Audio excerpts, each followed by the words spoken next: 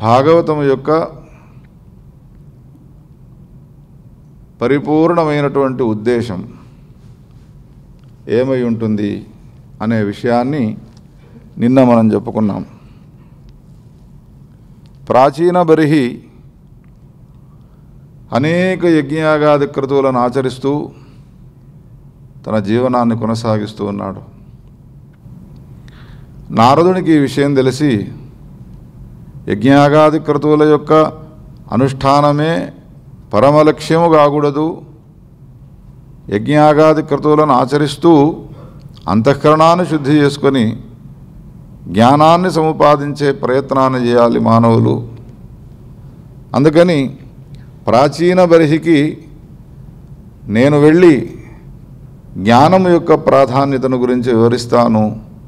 జీవపరమేశ్వరుల యొక్క పరిస్థితి ఏమిటి? ఆ విషయాన్ని గురించి కూడా తెలియజేస్తాను అని వెళ్ళి పురంజనోపాఖ్యానాన్నంతా కూడా చెప్పినాడు. ఈ కథ విన్న తర్వాత మనకేమనిపిస్తూ ఉంటుంది అని అంటే భాగవతము కర్మలను నిందిస్తూ ఉన్నది జ్ఞానానికి ప్రాధాన్యత ఇస్తూ ఉన్నది అని. కానీ వ్యాఖ్యాతలు జగద్గురు శంకరాచార్యుల వారు వ్యాసుడు చెప్పినటువంటి భాగవతానికి ఏమర్థం చెప్తారు అని అంటే నింద నిందయందు తాత్పర్యము కాదు నిందించిన దానికన్నా ఇతరమైన దాన్ని స్తుతించడంలో పరమ తాత్పర్యము. ఒక న్యాయం ఉన్నది నింద నిందితం ఇతరం ప్రవృత్త నహి నిందా న్యాయము అని ఒక న్యాయం ఉన్నది. నహి నిందా నిందితుం ప్రవృత్త నిందితాదితర స్తోతుం అని ఆ న్యాయం యొక్క నింద నిందయందు తాత్పర్యము కాదు. నిందించిన దానికన్నా ఇతరమైన దాన్ని పొగడడంలో తాత్పర్యము. కర్మలను నిందించినట్టుగా కనబడుతూ ఉన్నా కర్మలను నిందించడంలో తాత్పర్యం కాదు. కర్మల కన్నా ఇతరమైనటువంటి ఏ జ్ఞానము గలదో ఆ జ్ఞానమును పొగడడంలో తాత్పర్యం భాగవతం యొక్క ముఖ్య లక్ష్యమే అది. అందుకని నిన్న సమన్వయం కూడా మనం చేసుకున్నాము. కర్మల యొక్క ప్రాముఖ్యత జ్ఞాన విషయంలో ఎట్లా ఉన్నది అని అంటే అంతఃకరణ శుద్ధి ద్వారా సాక్షాత్తు మోక్షాన్ని ఇచ్చేది కేవలం జ్ఞానం మాత్రమే. పరంపరయా మోక్షాన్ని ఇచ్చేది కర్మలు భక్తి వ్రతములు మొదలైనటువంటి ఏవైతే సాధనాలు అనేకంగా ఉన్నాయో అవన్నీ పరంపరయా మోక్షానికి కారణాలవుతాయి అనే సమన్వయాన్ని నిన్న మనం అంతా కూడా చేసుకొని విన్నాం. పురంజనుడు అంటే జీవుడు అని అవ్యక్తుడు అనేటువంటి పేరు గలవాడు పరమాత్మ అని పరమాత్మను వదిలిపెట్టి జీవుడు ఉంటాడు కానీ ఉండాలి అని అనుకుంటాడు కానీ పరమాత్మ మాత్రము జీవుణ్ణి వదిలిపెట్టి ఒక క్షణం కూడా ఉండడు. ఏ ఒక్క సమయం వచ్చినా కానీ నేను పరమాత్మను చింతించాలి ఆయన వల్ల నేను క్షేమాన్ని పొందాలి అని సామాన్యమైనటువంటి జీవుడు అనుకోడు పరమాత్మను అనుకోకపోవడం పక్కన పెడితే నిందించడం కూడా చేస్తూ ఉంటాడు. నిందించినప్పటికీ కూడా వాడిని వెంటంటి వెన్- వెన్నంటుతూ ఉన్నటువంటి వాడి తనకు సంబంధించినటువంటి స్వరూపాన్ని బోధిస్తాడు. ఏమని చెప్పినాడు చివరికి? అహం భవాన్ నచాన్యో నచాన్యస్త్వం. నేను నీవై ఉన్నాను నీవు నాకన్నా వేరుగా లేవు. మన ఇద్దరిలో భేదం అనేటువంటిది ఇసుమంత కూడా లేదు. ఒకవేళ మన ఇద్దరిలో ఎవరైనా భేదాన్ని సూచినారు అనంటే వాడు దుఃఖాన్ని పొందుతాడు అనేటువంటి విషయాన్ని తెలియజేసినాడు. చివరికి నారదుని యొక్క ఉపదేశాన్ని పొందిన తర్వాత కర్మలను ఆచరిస్తాడు ప్రాచీన బరిహి. కానీ కర్మల యొక్క ఫలాన్ని ఈశ్వరార్పణం చేసి అంతఃకరణాన్ని శుద్ధం చేసుకున్నటువంటి వాడి జ్ఞానమున కోసమై ప్రయత్నం చేసినాడు జ్ఞానాన్ని ఉపదేశం చేసిన నారదునికి అనేక కృతజ్ఞతలను తెలుపుకున్నటువంటి వాడి సచ్చిదానంద ఘనస్వరూపుడు అద్వితీయుడు ఆత్మారాముడైనటువంటి యొక్క జ్ఞానికి సంబంధించిన స్థితి ఏది ఉంటుందో ఆ స్థితిని పొందినాడు ప్రాచీన బర్హి అనే వృత్తాంతాన్ని చెప్పినాడు. ప్రాచీన బర్హి తన పది మంది కొడుకులను ప్రాచేతసులను మీరు తపస్సులు చేసుకుని భగవద్ అనుగ్రహాన్ని పొందిరండి అని చెప్పడంతో వాళ్ళు అరణ్యానికి వెళ్ళినారు. అరణ్యంలో ఒక బావిలో నుండి మహాదేవుడైనటువంటి శంకరుడు ప్రాదుర్భవించినాడు. శివుడు రుద్రగీతం అనే పేరు గల ఒక గీతాన్ని ఉపదేశం చేసినాడు. ఆ ఉపదేశ ఉపదిష్టమైనటువంటి ఆ గీతాన్ని ప్రతినిత్యము క్షణం కాలం కూడా వదిలిపెట్టకుండా పఠనం చేస్తూ పఠిస్తూ ఉన్నటువంటి వారై భగవద్ అనుగ్రహం కోసం ఎదురు చూస్తూ ఉన్నారు. ఎక్కడ పఠిస్తున్నారు వాళ్ళంతా కూడా బయట ఉంటే ఆటంకాలు కలుగుతాయి అని భావించి నేలపైన అనుష్ఠానం చేయకుండా సముద్రంలోకి వెళ్ళి సముద్రంలో ఈ స్తోత్రాన్ని పఠిస్తూ ఉన్నారు.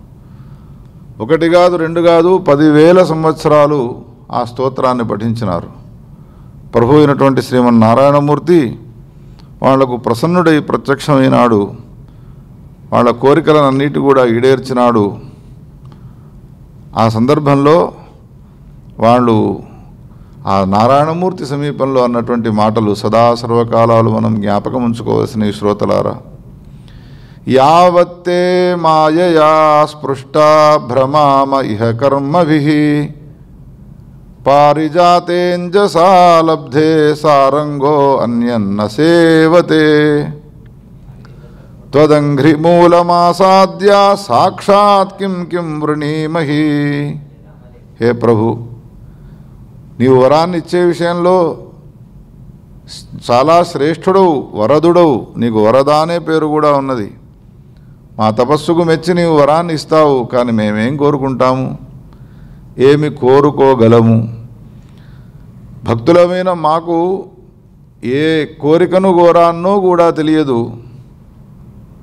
ఏమంటూ ఉన్నారు ఇక్కడ అనంటే యావత్తే మాయయా స్పృష్టా భ్రమామ ఇహ కర్మభి. నీవు మమ్మలను సృష్టించినావు దేనితో సృష్టించినావు అనంటే నీ అధీనంలో ఉన్న మాయతో సృష్టించినావు. నీ అధీనంలో ఉన్న మాయ చేత సృష్టింపబడ్డ మేము మాయామయులమై ఉన్నాం అనేక రకాలైనటువంటి కర్మలను ఆచరిస్తూ ఆచరిస్తూ తిరుగుతూనే ఉన్నాము మా సంచారం ఒకనాటికి సమాప్తమయ్యేది కాదు. పునరపి జననం పునరపి మరణం పునరపి జననీ జఠరే శయనం అనేటువంటి రీతిగా చక్రనేమి క్రమం వలె నైరంతర్యంగా మేము ప్రయాణం చేస్తూనే ఉన్నాం ఎందువలన మేము ప్రయాణం చేస్తున్నాం ఈ విధంగా అనంటే అది కేవలం మాయయ. నీ అధీనంలో ఉన్నటువంటి మాయతో మమ్మలను సృష్టించినావు కాబట్టి మా పైన నీ మాయ ప్రసరించడంతో మేము ఈ విధంగా భ్రమ సంచారం చేస్తూ ఉన్నాము. పారిజాత వృక్షాన్ని గనక ఒకవేళ లేడీ పొందినది అని అన్న తర్వాత ఇంకా వేరే ఇతర వృక్షాన్ని అపేక్షించదు. ఎట్లానో? నారాయణుడు అయినటువంటి నీ అంఘ్రిమూలాన్ని నీ పాదమూలాలను మేము ఆశ్రయించినాము అని అన్న తర్వాత ఇంకా ఇతరులను ఎవరిని ఆశ్రయిస్తామయ్యా? తులయామలవే నాపిన స్వర్గం నా పునర్భవం. భగవత్ సంగి సంగస్య మర్త్యానాం కిముతాశిష. హే ప్రభు మా కోరికల్లా ఒకటే అదేమిటి అంటే తావత్ భ్రమత్ ప్రసంగానాం సంగ స్యాన్నో భవే భవే. ఎన్ని జన్మలు మేమెత్తినా మాకు కావలసిందల్లా ఒకటే అదేమిటి అంటే భగవత్ సంగ సంగి భగవంతుని యొక్క సాంగత్యాన్ని పొందినటువంటి ఏ సత్పురుషులు గలరో వాళ్ళతో మాకు స్నేహం కావాలి. అటువంటి వాళ్ళతో ఎందుకురా నీవు స్నేహాన్ని కోరుతున్నావు అని అడిగితే శ్రీమన్నారాయణమూర్తి అడిగితే వాళ్ళు లౌకికమైనటువంటి వ్యవహారాలు మాట్లాడరు మాతో. ఒకవేళ ఏదైనా మాట్లాడితే భగవత్ సంబంధమైనటువంటి విషయాలనే మాట్లాడతారు. మరి నా సన్నిధానంలోనే ఉండేందుకు మీరు కోరికను కోరుకోవచ్చును కదా అని నారాయణమూర్తి అంటే అంతటి స్థాయి ఇంకా రాలేదు స్వామి. ఇదొక కారణమైతే రెండవ కారణం ఏమిటి అంటే భగవంతుని సన్నిధానంలో ఉన్నదానికంటే భగవంతునికి దూరంగా ఉంటూ భగవత్ సంబంధమైనటువంటి కథలను వినడంలో ఉన్న మాధుర్యము భగవత్ సన్నిధానంలో ఉండదు అనే విషయాన్ని మనకు తెలియపరచడానికి ఈ విధంగా కోరుతున్నారు. తావద్భ్రమ భవత్ ప్రసంగానాం సంగ భవే భవే. ఒక మాట చెప్పాలి అంటే నిన్న కూడా ఓ సందర్భంలో వ్యాసుడు మనకు ఈ విషయాన్ని తెలియజేసినాడు. వంద సంవత్సరాల స్వర్గలోకం కావాలన్నా లేక అరక్షణ కాలము సత్పురుషుల యొక్క సాంగత్యం కావాలన్నా చెప్పండి అని అంటే వంద కాదు వెయ్యి సంవత్సరాలైనా మాకు స్వర్గలోకం యొక్క ఆవశ్యకత లేదు స్వర్గలోకం మాకు వద్దు. అరక్షణము కనురెప్పపాటు కాలమైనా సరే సత్పురుషుల యొక్క సాంగత్యం లభిస్తే చాలు అంతకన్నా మేము కోరుకునేది ఇంకొకటి ఉండదు అని భగవత్సంగి సంగశ్చ మృత్యానాం కిముతాశిష నిర్వైరం ఎత్ర నోద్వేగో ఎత్ర భూతేషు కశ్చన ఎత్ర నారాయణ సాక్షాత్ భగవాన్ యాసినాంగతి సత్పురుషుల యొక్క సాంగత్యం వలన నీకు వచ్చే ప్రయోజనం ఏమిటి అని ఒకవేళ ప్రశ్నిస్తే హే నారాయణ వాళ్ళ యొక్క ఉపదేశాలు విని విని నాలో మార్పు ఎట్లా వస్తుంది అని అంటే ఎవరినీ నేను ద్వేషించను అందరినీ సమానమైనటువంటి భావంతో చూస్తూ ఉంటాను. ఒక మాటలో చెప్పాలి అంటే కేవలం ఒక మానవులే కాదు ప్రతి భూతముల ఎందు సమానమైనటువంటి భావం నాకు ఏర్పడుతుంది. సమానమైన భావం అంటే ఎట్లా? తనను తాను ప్రేమించుకుంటే తన ఎందు తనకు ఏ విధమైనటువంటి ప్రేమ అనురాగం ఉంటుందో అదే విధమైనటువంటి ప్రేమ అనురాగము జగత్తులో ఉన్నటువంటి సకల ప్రాణుల ఎందు నాకు కలుగుతుంది. ఇంతకన్నా నాకు కావలసింది ఏముంటుంది స్వామి? అని ఈ విధంగా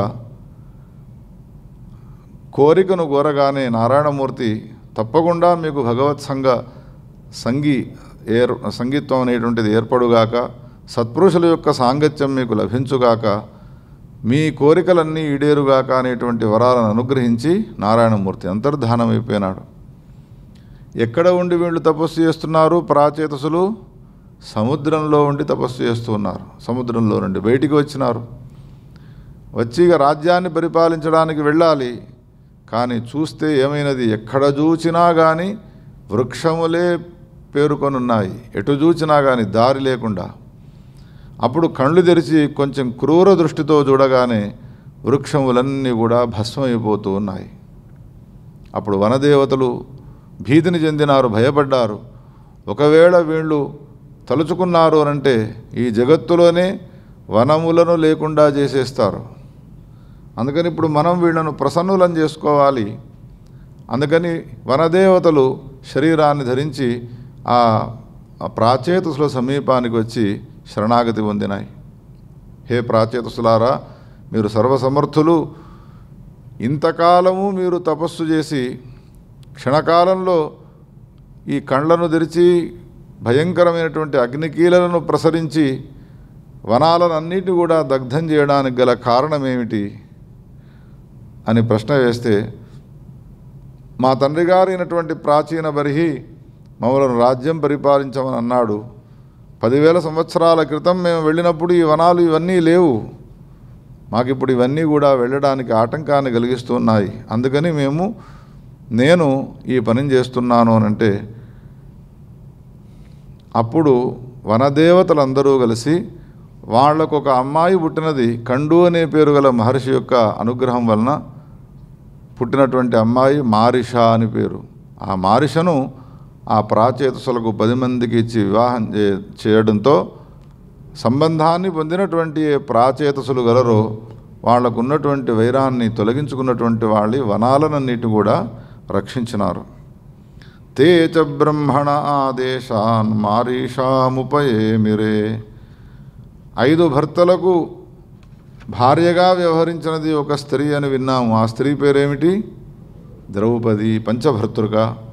కానీ పది మంది భర్తలకు భార్యగా వ్యవహరించిన స్త్రీ ఉన్నది ఒక ఆమె పురాణంలో. ఆమె పేరు మారిష. పురాణాంతరంలో ఆమెను వార్క్షి అనే పేరుతో కూడా పిలిచినారు. వృక్షములకు పుట్టిన అమ్మాయిగా ఉన్న వార్క్షి అని. ఈ విధంగా ఆమెను వివాహం చేసుకున్నటువంటి వారి వాళ్ళంతా కూడా వాళ్ళ రాజ్యానికి వెళ్ళినారు. అనేక సంవత్సరాలు సుఖభోగాలను అనుభవించినారు. హంసతూలికా తలపాలను పంచభక్ష పరమాన్నాలను అనుభవిస్తూ ధర్మమయ జీవనాన్ని కొనసాగించిన తరువాత కాలాంతరంలో ఆ పది మందికి ఆ అమ్మాయి ఎందు ఒక కుమారుడు పుట్టినాడు. ఆ పుట్టిన వాని పేరు దక్షుడు.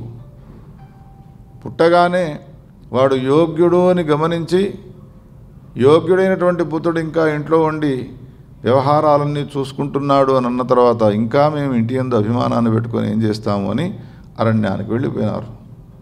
చూడండి సుఖభోగ లాలసత అనేటువంటిది వాళ్ళకు లేదు. ఆకాశంలో మెరుపు వచ్చినట్టుగా పదివేల సంవత్సరాలు స- నీళ్ళలో ఉండి తపస్సు చేసినారు. వచ్చి మూడు నాలుగు సంవత్సరాలు రాజ్యాన్ని పరిపాలించినారు. మళ్ళీ అరణ్యానికి వెళ్ళి తపస్సు చేసుకోవడానికి పూనుకున్నారు అని అంటే ఈ ప్రాచేతసుల యొక్క నిశ్చయ జ్ఞానం ఏదై ఉంటుంది అని అంటే అంతఃపురాల్లో రాజ్యాల్లో హంసతూలికా తలపాల్లో పంచభక్ష పరమాన్నాల్లో సుఖము ఆనందము అనేటువంటిది లేదు.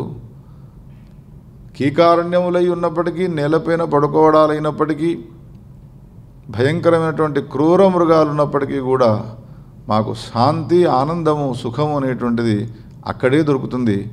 అక్కడ ఏం చేస్తారయ్యా మరి మీరు వెళ్ళి అనంటే శ్రీకృష్ణ గోవింద హరే మురారే హే నాథ నారాయణ వాసుదేవ హే నాథ నారాయణ వాసుదేవ హే నాథ నారాయణ వాసుదేవ యథా తరోర్మూలనిషేచనేన తృప్యంతి తత్స్కంధభుజో ఉపశాఖా ప్రాణోపహారాచ్చ యథేంద్రియాణం తథైవ సర్వార్హణమచ్యుతేజ్య.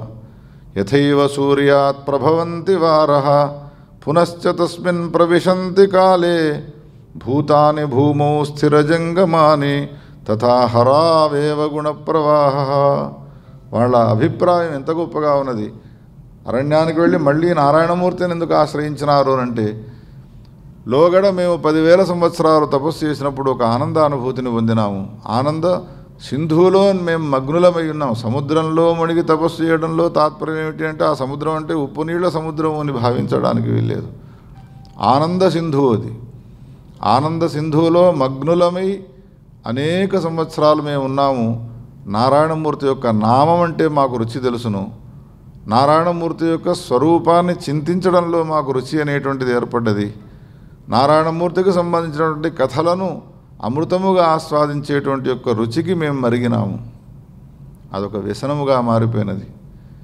ఎవనికి ఏ వస్తువు సేవించడము వ్యసనమై ఉంటుందో ఆ వస్తువు లేకపోతే వాడు పిచ్చివాడైపోతాడు.